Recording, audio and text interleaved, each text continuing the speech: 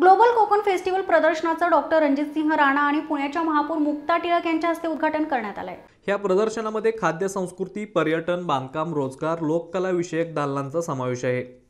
कोकणाचा वारसा नैसर्गिक साधन संपत्ती जपत शाश्वत विकास करण्यासाठी कोकणवासियांनी प्रयत्न करावेत. वाहून जाणारे पाणी अडवावे जमिनीचा धूप थांबवावी आणि मनुष्यबळ बुद्धीचं विस्थापन रोखावे.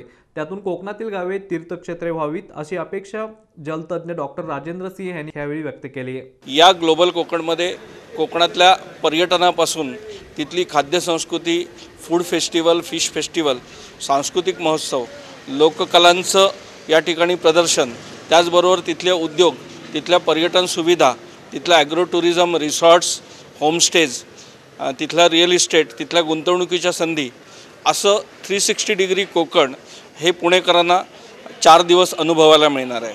ह्या प्रदर्शनात एकशे पन्नासहून अधिक स्टॉल्स पाचशेहून अधिक कोकणी उद्योजकांचा सहभाग आहे. त्यातून एका प्रदेशाचा जागतिक ब्रँड निर्माण करणारी देशातील एकमेव आणि सर्वात भव्य महोत्सव ठरणार आहे.